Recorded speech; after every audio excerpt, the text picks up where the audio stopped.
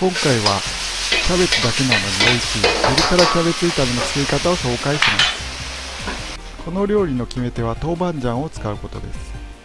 豆板醤にひと手間加えることで旨味が増してキャベツの甘みを引き出しものすごく美味しくなります。それでは作っていきましょう。キャベツは旬の春キャベツを使います。芯の部分から切り離し2枚分使います。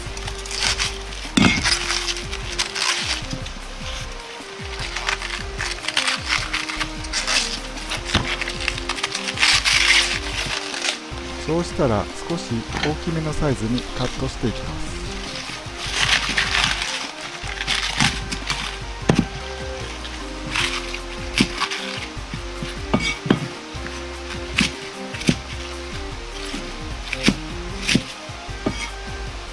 ャベツの繊維を叩いて味の染み込みを良くしておきます。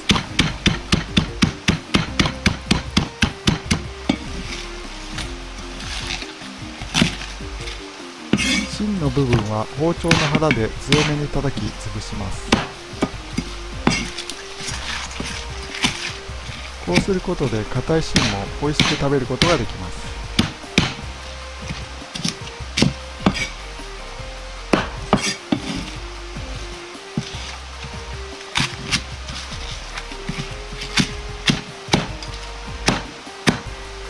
ったキャベツは水洗いしてから水と重曹に5分ぐらいつけておきます。こうすることでキャベツについている雑菌や農薬を落とし味も美味しくなります。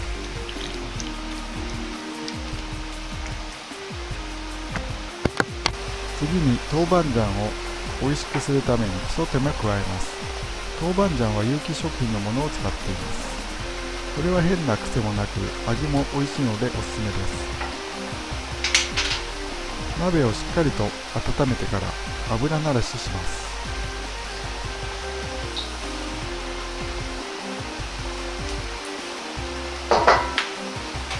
油と豆板醤を同じぐらいの量にして入れ炒めていきます。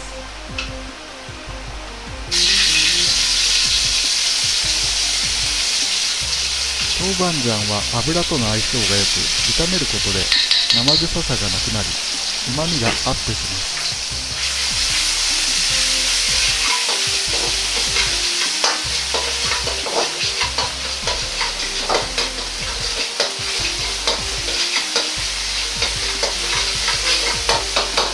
炒めていると豆板醤が油を吸って余分な水分が抜けてきます。ここでもう少し油を足します。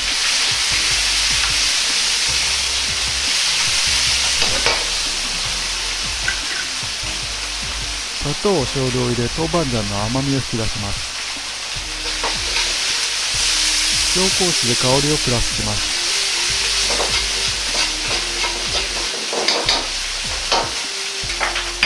これで豆板醤がさらに美味しくなりました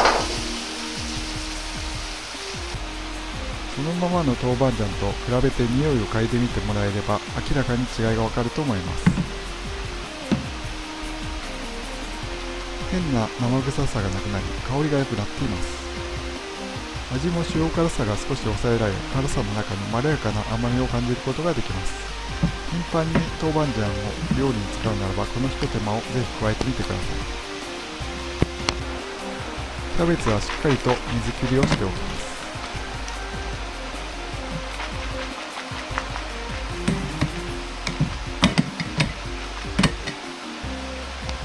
材料はキャベツ 150g にんにく生姜大さじ1豆板醤大さじ1 2分の1です。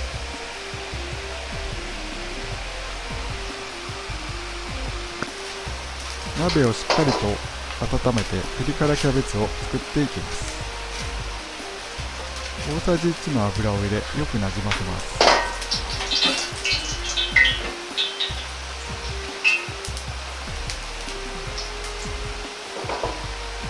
火を止めてからにんにく生姜を入れ炒めます。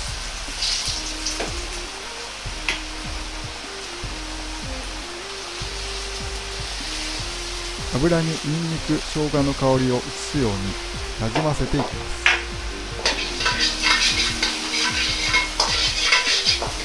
火をつけてじっくりと炒めていきます。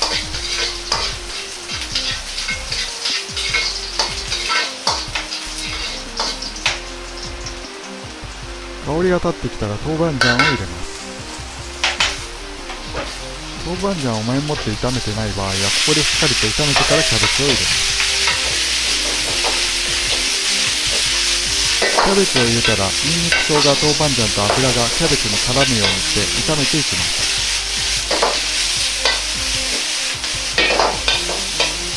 キャベツの水分を飛ばすように強火で炒めていきます。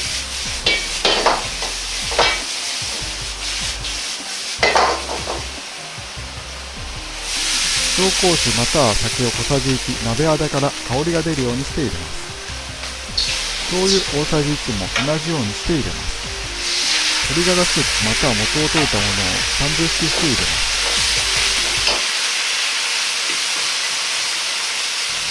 砂糖小さじ1とお好みで味の素を少量入れます。胡椒を振りかけます。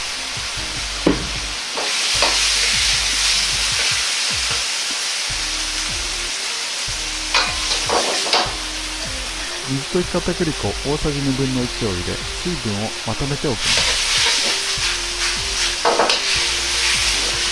最後に軽く炒め合わせで完成です。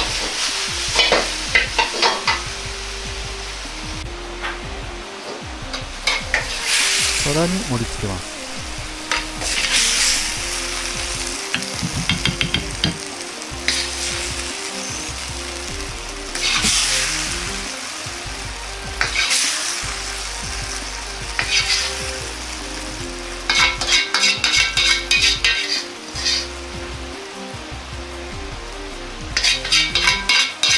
これでピリ辛キャベツ炒めの出来上がりです。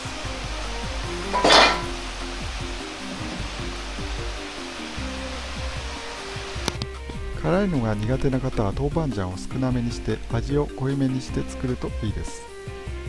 キャベツだけですがしっかりとご飯のおかずになりますのでお試しください。このチャンネルでは簡単なまかない料理や本格的な中華料理の作り方を紹介しています。よかったら高評価とチャンネル登録をお願いします。リクエストなどがありましたらコメント欄にお願いします。最後まで見ていただきありがとうございます。また次回よろしくお願いいたします。